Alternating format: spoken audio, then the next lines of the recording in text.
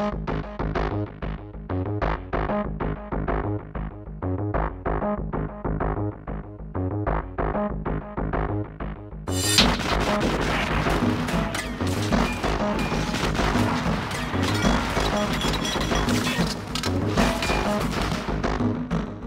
concluded that tomorrow is a moment of truth for the world.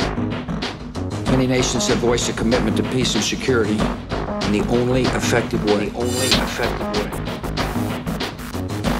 by supporting the immediate, by supporting the immediate, unconditional disarmament of. Saddam Hussein. Saddam Hussein. We have sources that tell us that Saddam Hussein recently authorized Iraqi field commanders to use chemical weapons.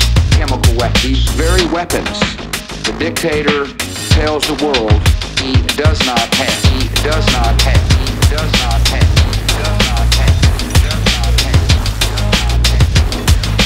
The lessons of the past four months is that diplomatic pressure, that diplomatic pressure will have no effect, will have no effect without the visible and credible threat of force.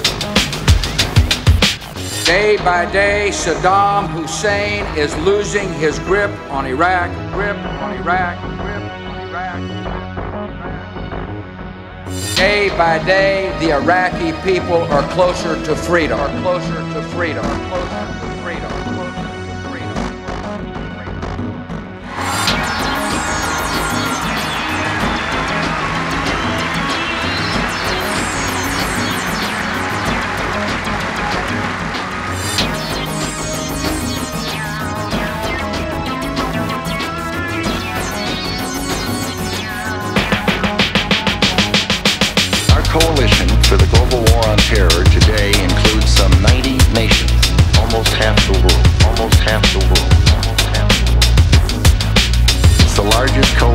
human history. We're fighting alongside old allies and new friends alike. Whoops, there's that word old again.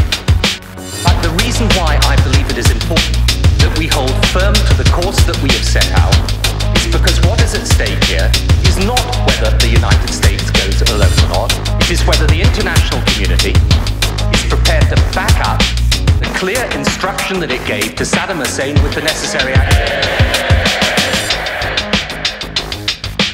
Saddam Hussein can now be expected to begin another round of empty concessions, transparently false denials. No doubt, you'll play a last minute game of deception. The game is over.